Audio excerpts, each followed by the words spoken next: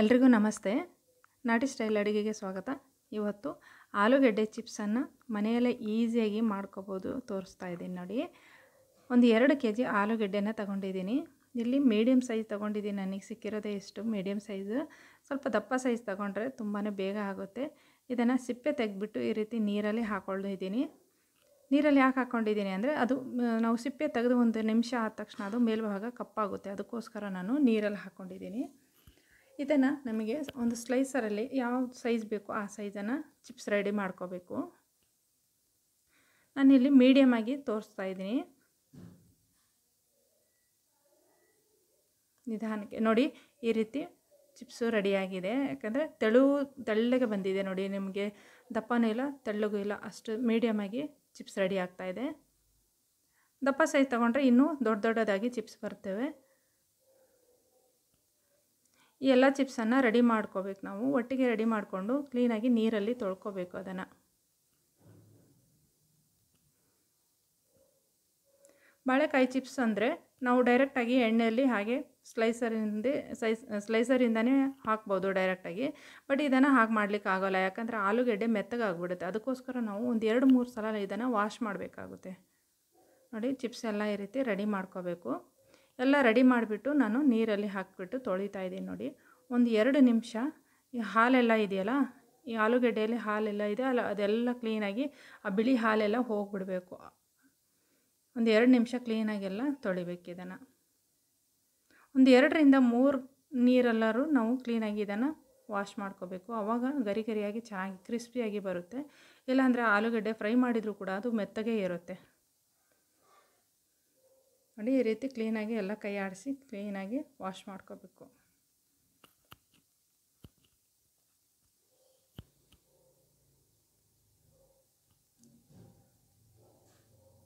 ನೋಡಿ, ನಾನು ವಾಶ್ ಮಾಡಿಬಿಟ್ಟು ಮಾಡಿ ರೆಡಿ ಮಾಡಿದ್ದೀನಿ. ಈಗ ಒಂದು ಬಟ್ಟೆಯಲ್ಲಿ ಹಾಕಿಬಿಟ್ಟು ಇದನ್ನು ಕ್ಲೀನಾಗಿ ಎಣ್ಣೆ ಆ ನೀರೆಲ್ಲ ಇದೆಯಲ್ಲ, ಅದೆಲ್ಲ ಹೋಗಬೇಕು, ಅಲ್ಲಿವರೆಗೂ ಕ್ಲೀನಾಗಿ ಎಲ್ಲ ಒರೆಸ್ಬೇಕು. ನೋಡಿ, ಒಂದು ಬಟ್ಟೆಯಲ್ಲಿ ಹಾಕೊಂಡು, ಹಾಕಿಬಿಟ್ರೆ ಅದು ನೀರೆಲ್ಲ ಹೀರ್ಕೊಳ್ಳುತ್ತಲ್ಲ, ಹಾಗಾಗಿ ಇದರಲ್ಲಿ ಹಾಕಿಬಿಟ್ಟು ಸೈಡಲ್ಲಿರೋ ಬಟ್ಟೆಯಿಂದ ಇದನ್ನು ನೀಟಾಗಿ ಒರೆಸ್ಕೋಬೇಕು ನೋಡಿ ಈ ರೀತಿ. ಅದೇ ಬಟ್ಟೆಯಲ್ಲಿ ಕ್ಲೀನಾಗಿ ಒರೆಸಿದ್ರೆ ಹಿಂಗೆ ಒತ್ತಿದ್ರೆ ಕ್ಲೀನಾಗಿ ಆ ನೀರೆಲ್ಲ ಹೀರ್ಕೊಳ್ಳುತ್ತೆ.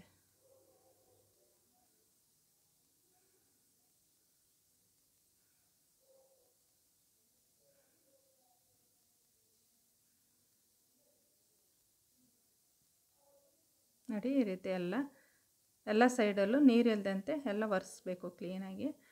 ಎಲ್ಲ ರೆಡಿ ಮಾಡಿಕೊಂಡು ನಾವು ಎಣ್ಣೆಯಲ್ಲಿ ಹಾಕಿದರೆ ಬೇಗನೆ ಆಗುತ್ತೆ. ಈಗ ಬಾಣಲೆಯಲ್ಲಿ ಎಣ್ಣೆ ಹಾಕ್ಕೊಂಡು ರೆಡಿ ಮಾಡ್ಕೊಳ್ಳೋಣ. ಎಣ್ಣೆನ ಜಾಸ್ತಿ ಕಾಯಿಸ್ಲಿಕ್ಕೆ ಹೋಗಬಾರ್ದು.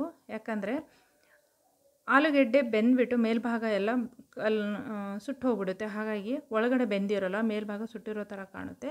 ಅದಕ್ಕೋಸ್ಕರ ಮೀಡಿಯಮಾಗಿ ಎಣ್ಣೆ ಕಾದಿರಬೇಕು. ಹೊಗೆ ಬರೋ ಥರ ಕಾಯಿಸ್ಬಾರ್ದು. ನೋಡಿ, ಈಗ ಮೀಡಿಯಮಾಗಿ ಕಾದಿದೆ. ಈಗ ಚಿಪ್ಸ್ ಎಲ್ಲ ಹಾಕ್ಕೊಳ್ತಾ ಇದ್ದೀನಿ.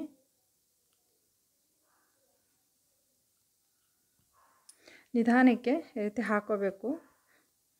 ಯಾಕಂದರೆ ಹಸಿ, ಎಲ್ಲ ನೀರಿಂದ ಹಸಿ ಇರುತ್ತಲ್ಲ, ಹಾಗಾಗಿ ಸ್ವಲ್ಪ ನಿಧಾನಕ್ಕೆ ಹಾಕೋಬೇಕು, ಹುಷಾರಾಗಿ.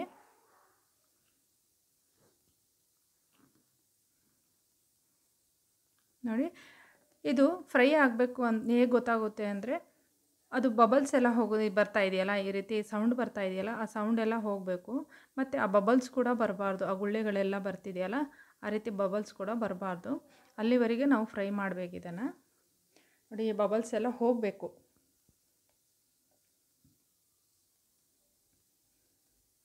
ನೋಡಿ, ಒಂದು ಮುಕ್ಕಾಲು ಭಾಗ ಬೆಂದಿದೆ. ಬಬಲ್ಸ್ ಎಲ್ಲ ಸ್ವಲ್ಪ ಕಡಿಮೆ ಆಗಿದೆ. ನೋಡಿ ಕಲರ್ ಕೂಡ ಬೇಗ ಚೇಂಜ್ ಆಗಿಲ್ಲ ಇದು.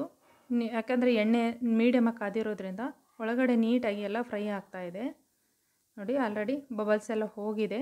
ಇಷ್ಟು ಬಬಲ್ಸ್ ಎಲ್ಲ ಇದು ಸಣ್ಣ ಪುಟ್ಟ ಎಲ್ಲ ಬಂದಿದೆಯಲ್ಲ, ಅದೆಲ್ಲ ಹೋಗಬೇಕು. ಅಲ್ಲಿವರೆಗೆ ನೀಟಾಗಿ ಫ್ರೈ ಮಾಡ್ಕೋಬೇಕು. ನೋಡಿ, ಈಗ ರೆಡಿಯಾಗಿದೆ ಚಿಪ್ಸು ನೋಡಿ, ಇಷ್ಟು ಗರಿ ಗರಿಯಾಗಿ ಬಂದಿದೆ. ಇಷ್ಟು ಸೌಂಡ್ ಬರಬೇಕು. ಅಲ್ಲಿವರೆಗೆ ನಾವು ಫ್ರೈ ಮಾಡಬೇಕು. ಇನ್ನೊಂದು ಟ್ರಿಪ್ಪಲ್ಲಿ ನಾನು ಚಿಪ್ಸ್ ಹಾಕ್ಕೊಂಡಿದ್ದೀನಿ ನೋಡಿ, ಈಗ ಉಪ್ಪು ನೀರು ಹಾಕಿ ತೋರಿಸ್ತಾ ಇದ್ದೀನಿ ನೋಡಿ ನಿಮಗೆ. ಒಂದು ಸ್ಪೂನ್ ನೀರು ಉಪ್ಪನ್ನು ನೀರಲ್ಲಿ ಕಲಿಸ್ಕೊಂಡು ಹಾಕ್ಕೊಳ್ತಾ ಇದ್ದೀನಿ. ಅವಾಗ ಏನಾಗುತ್ತೆ ನಮಗೆ ಚಿಪ್ಸು ಮಸಾಲೆ ಇಲ್ಲದಂತೆ ತಿನ್ನಲಿಕ್ಕೆ ಈಸಿಯಾಗಿ ರೆಡಿ ಮಾಡ್ಕೋಬೋದು. ಖಾರ ಪುಡಿನೂ ಬೇಡ, ಮಸಾಲೆ ಬೇಡ ಅನ್ನೋದಾದರೆ ಈ ರೀತಿ ಉಪ್ಪು ಹಾಕಿ ನಾವು ಫ್ರೈ ಮಾಡಿಕೊಂಡ್ರೆ ಡೈರೆಕ್ಟಾಗಿ ಬಾಳೆಕಾಯಿ ಚಿಪ್ಸ್ ತಿಂದಂಗೆ ತಿನ್ಬೋದು. ನೋಡಿ, ಚಿಪ್ಸ್ ಎಲ್ಲ ಎಷ್ಟು ಚೆನ್ನಾಗಿ ರೆಡಿಯಾಗಿದೆ ಇದಕ್ಕೆ ಒಂದು ಅರ್ಧ ಸ್ಪೂನ್ ಅರಿಶಿನ ಪುಡಿ ಹಾಕ್ಕೊಳ್ತಿದ್ದೀನಿ ಒಂದು ಎರಡು ಸ್ಪೂನ್ ಅಚ್ಕಾರ ಪುಡಿ. ಒಂದು ಅರ್ಧ ಸ್ಪೂನ್ ಮಾಮೂಲಿ ಉಪ್ಪನ್ನು ಹಾಕ್ತಿದ್ದೀನಿ ನೋಡಿ. ಒಂದು ಸ್ಪೂನ್ ಬ್ಲಾಕ್ ಸಾಲ್ಟನ್ನು ಹಾಕ್ಕೊಳ್ತಿದ್ದೀನಿ ಇಲ್ಲಿ ಬ್ಲಾಕ್ ಸಾಲ್ಟನ್ನು ಹಾಕೋದು ಬೇಕ್ರಿ ಸ್ಟೈಲ್ ಬೇಕ್ರಿ ಟೇಸ್ಟೇ ಬರಬೇಕು ಅಂತಂದರೆ ಬ್ಲಾಕ್ ಸಾಲ್ಟ್ ಹಾಕಿದರೆ ತುಂಬಾ ಟೇಸ್ಟಾಗಿ ಬರುತ್ತೆ. ಆಮೇಲೆ ಹೆಲ್ತಿಗೂ ಕೂಡ ಒಳ್ಳೆಯದು ಬ್ಲಾಕ್ ಸಾಲ್ಟ್ ಹಾಕೋದ್ರಿಂದ. ಇದೆಲ್ಲ ನೀಟಾಗಿ ಈ ರೀತಿ ಮಿಕ್ಸ್ ಮಾಡ್ಕೋಬೇಕು. ಬೇಕಂದರೆ ನೀವು ಚಾಟ್ ಮಸಾಲ, ಆಮ್ಚೂರ್ ಪೌಡ್ರ್ ಕೂಡ ಹಾಕೋಬೋದು ನಾನು ಇದು ಇಲ್ಲಿ ಯಾವುದೇ ರೀತಿ ಮಸಾಲೆನ ಹಾಕಿಲ್ಲ. ಎಲ್ಲ ಬರೀ ಅಚ್ಕಾರ ಪುಡಿ ಮತ್ತು ಅರಶಿನ ಪುಡಿ ಉಪ್ಪನ್ನು ಹಾಕಿ ರೆಡಿ ಮಾಡಿದ್ದೀನಿ. ಎಷ್ಟು ಚೆನ್ನಾಗಿ ಕಾಣ್ತಿದೆ ನೋಡಿ. ಗರಿ ಗರಿಯಾಗಿ, ಬಿಸಿ ಬಿಸಿಯಾಗಿ ಟೀ ಟೈಮಿಗೆ ಚಿಪ್ಸ್ ರೆಡಿಯಾಗಿದೆ ತುಂಬಾ ಚೆನ್ನಾಗಿ ಬಂದಿದೆ. ಈ ವಿಡಿಯೋ ನಿಮಗೆ ಇಷ್ಟ ಆಗಿದೆ ಅಂತ ಅಂದ್ಕೊಳ್ತೀನಿ ದಯವಿಟ್ಟು ಇವತ್ತೇ ಮಾಡಿ. ಹೇಗೆ ಬಂತು ಅಂತ ಕಮೆಂಟ್ ಮಾಡಿ. ಲೈಕ್ ಮಾಡಿ, ಶೇರ್ ಮಾಡಿ, ಸಬ್ಸ್ಕ್ರೈಬ್ ಮಾಡಿ. Thank you.